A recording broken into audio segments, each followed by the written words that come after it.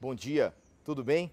Hoje nós vamos falar sobre o tema Gloriando-se na Cruz. Está baseado em Gálatas 6, versículo 14, e lá diz o seguinte: Quanto a mim, que eu jamais me glorie, a não ser na cruz do nosso Senhor Jesus Cristo, por meio da qual o mundo foi crucificado para mim e eu para o mundo. Paulo já havia dado a sua mensagem a respeito da circuncisão para os Gálatas.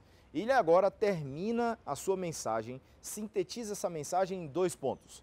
E os pontos são a justificação pela fé e a centralidade da cruz. Hoje a gente vai falar sobre a centralidade da cruz. Possivelmente você pode ter aí na sua casa um cordão, um crucifixo. A cruz hoje ela é utilizada para decoração, mas naquela época ela é um instrumento de vergonha. Os romanos nem citavam a cruz como uma forma de punir um cidadão romano. Mas Paulo agora diz para todos que a glória está na cruz do Calvário. Por que ele diz isso?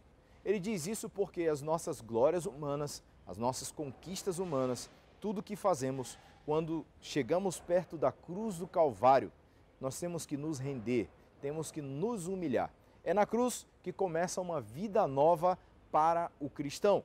É na cruz que nós somos crucificados para o mundo e o mundo também é crucificado para nós. E você já se deparou com a cruz? E você já se entregou a Cristo Jesus? Você já morreu para o mundo? O mundo já morreu para você?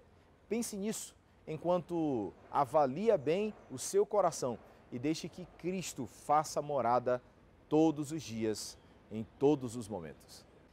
Vamos então fazer uma oração? Querido Jesus, Hoje, olhando para a cruz do Calvário, entendemos que não somos nada e que necessitamos do teu amor. Por favor, nos crucifica, crucifica o nosso eu. Crucifica-nos para que possamos morrer para o mundo e o mundo morrer para a gente. Nos dá forças para fazer isso.